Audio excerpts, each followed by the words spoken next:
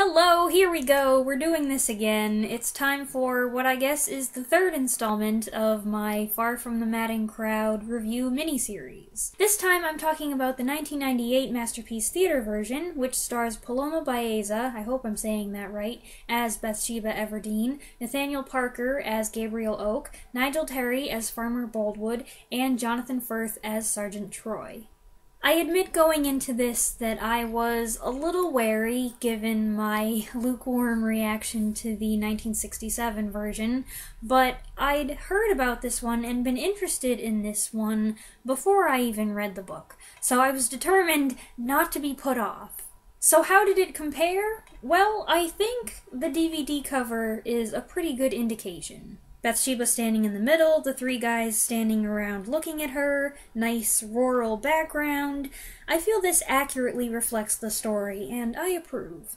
I certainly approve more than I approved of the 1967 DVD case. This one is also long, nearly four hours, but while it takes time to flesh out the story and characters, it doesn't feel slow and drawn out and, ugh, when's this gonna end already? Given that it was so long and not a theater release, I had a pretty good feeling that it was going to be pleasantly faithful to the book, and I'd say I got pretty much what I was hoping for. Paloma Baeza's Bathsheba strikes just the right blend of independence and innocence. She's vain, she's naive, she's got a temper. Her behavior and attitude is most affected by her interactions with those around her, and those different facets of her character really came through in this performance. Likewise, I was happy with Nathaniel Parker as Gabriel Oak. He was very close to what I'd imagined in the book. This version gives him more screen time, both on his own and with Bathsheba, so that their relationship has greater emphasis throughout the movie, not just at the beginning and the end and a couple times in the middle.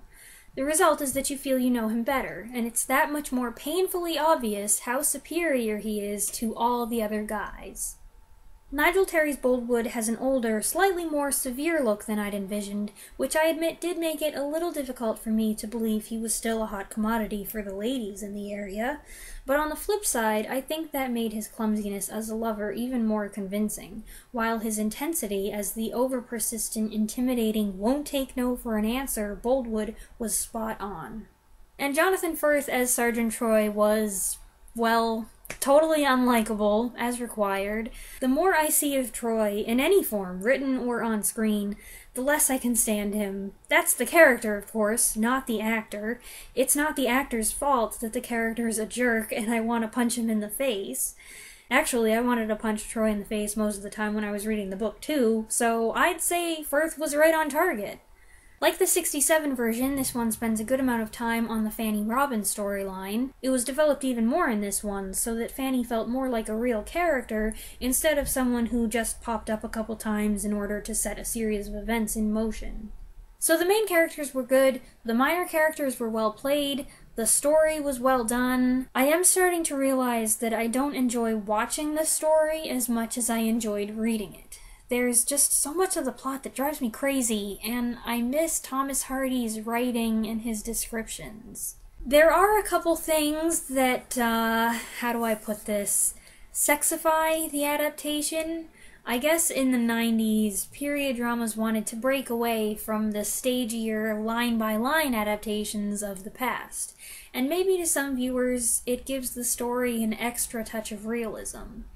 But I personally find that if you add things like that, you're going to alter something a character, a mood, a situation. For example, Troy kissing Bathsheba in the field is one thing. That's canon, it happened in the book.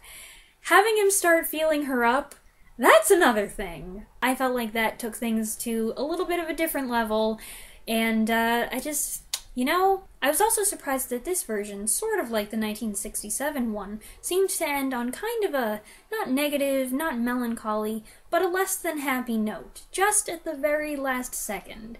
Which, again, makes me question the story's final resolution, which was not something that happened when I read the book. Am I missing something?